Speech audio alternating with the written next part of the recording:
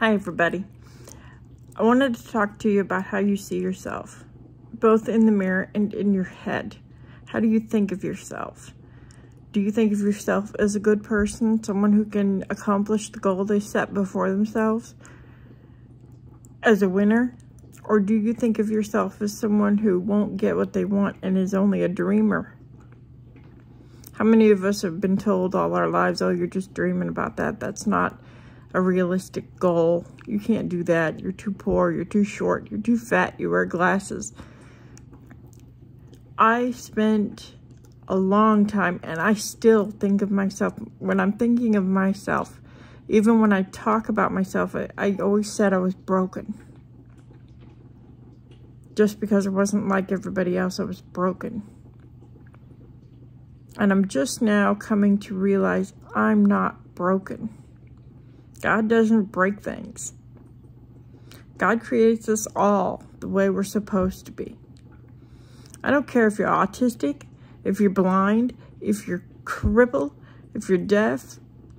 Every person on the planet has some form of disability. I don't care if you're wearing a multi-million dollar suit. You have something a lot of people, it's not physical. A lot of people have a disability, a mind block. I'm poor because my mom was poor. Or I can't do this. Or shouldn't be left-handed. My One of my good friends was left-handed and when she was in a religious school when she was very young, they used to hit her hand with a ruler because she was left-handed and try to force her to use her right hand what we go through when we're young sticks with us, even if we barely remember it. We're not broken people. And if you say yourself to yourself, I'm broken, then you're right. My friend Danny, her teacher had this sign up in her classroom when she was young, and Danny always remembered it. She said, the sign said, if you think you are or you think you aren't, you're absolutely right. No, I'm not perfect, but I'm learning. And I've got good friends and people in my life to help me learn more.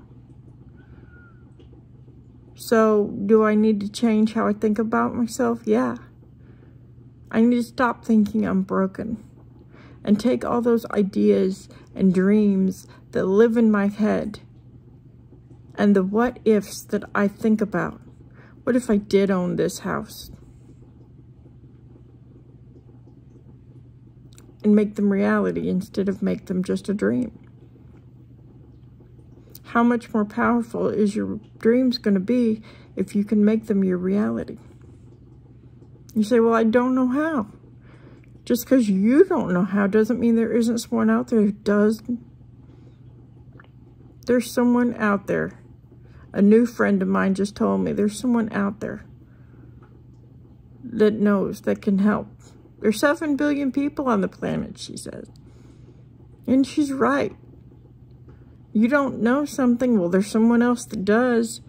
Or there's not one person among us who knows everything. Doesn't the president have advisors? Now, why do you think that is? I like to call that a thing that makes you go, hmm. Things that make you go, hmm, in my world are things that make you think. And God gave us one of the most powerful computers on the planet. It's right up here. Why don't we start using it? And not just you. I'm talking about me too. I learned a lot tonight when I talked to my new friend. And I learned that I wasn't using this either.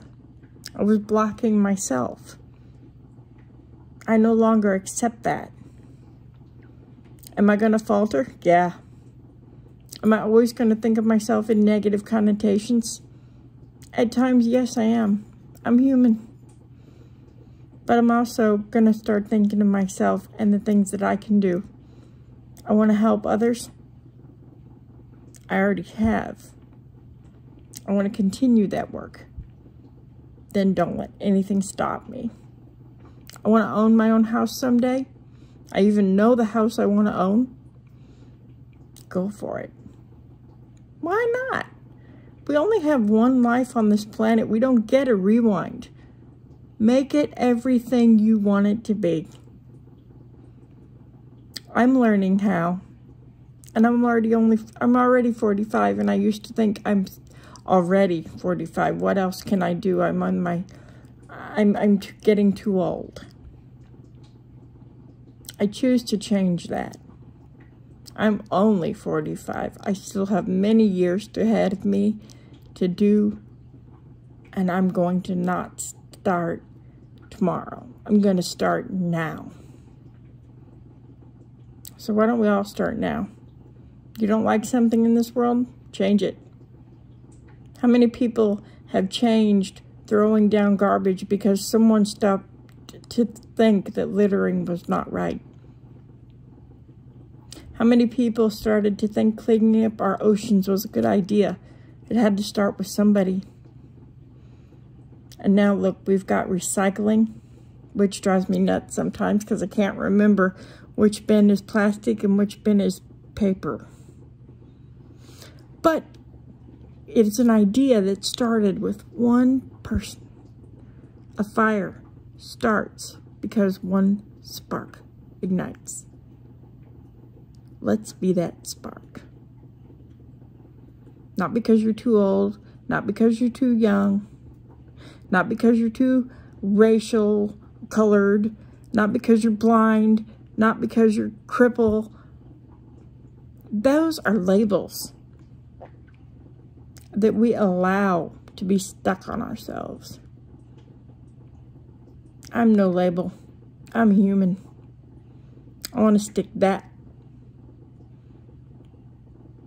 Good night, everybody.